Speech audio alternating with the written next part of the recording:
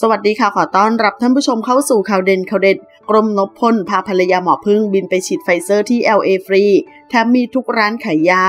เป็นอีกหนึ่งคนดังที่บินข้ามประเทศไปรับวัคซีนป้องกันโควิดดีๆที่ต่างประเทศสำหรับนักแสดงหนุ่มช่องเจ็ดกลมนพพลพิทักษ์โล่พานิชที่ล่าสุดได้ตัดสินใจพาภรรยาคนสวย หมอผึ้ง บินไปฉีดวัคซีนไฟเซอร์ที่ลอสแอนเจลิสสหรัฐอเมริกา โดยเจ้าตัวได้โพสต์ไอจีบอกว่าไฟเซอร์ที่ LA เข็มแรก ส่งความห่วงใยถึงชาวไทยทุกคน และขอเป็นกำลังใจให้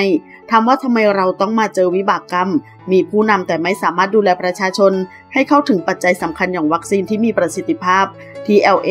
เขาเปิดธุรกิจกันหมดแล้วครับ วัคซีนมีทุกร้านยา เลือกได้หลากหลายชนิดตามความมั่นใจของผู้รับ อยากได้แบบเข็มเดียว อยากได้แบบ 2 เข็ม อยากได้ mRNA หรือviral vector เดินเข้าไปฉีดได้เลยทั้งหมดฟรี งบประมาณถ้าวางแผนใช้ตามความสำคัญ ให้ถูกจุด ไทยเราจะไม่มีทางเป็นอย่างทุกวันนี้ อยู่ที่วิสัยทัศน์และปัญญาของผู้นำล้วนๆครับ ด่าก็จริง แต่เรียกให้ไปช่วยงานก็ไปช่วยนะแฮชแท็กขอวัคซีนดีๆ ให้บุคลากรด่านหน้าเต็มจำนวน ขอขอบคุณข้อมูลจากข่าวสดขอบคุณค่ะ